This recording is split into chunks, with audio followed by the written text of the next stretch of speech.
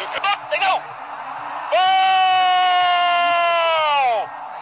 bàn thắng của anh Đức pha bóng rất bất ngờ bất ngờ và đội tuyển nhìn trước đây thì có một người dẫn dắt rất lâu năm tốt Tây Nga đó là Coutinho hết sức nguy hiểm một tình huống mà chúng ta đã không có phương án đề phòng tỷ số được ra mặt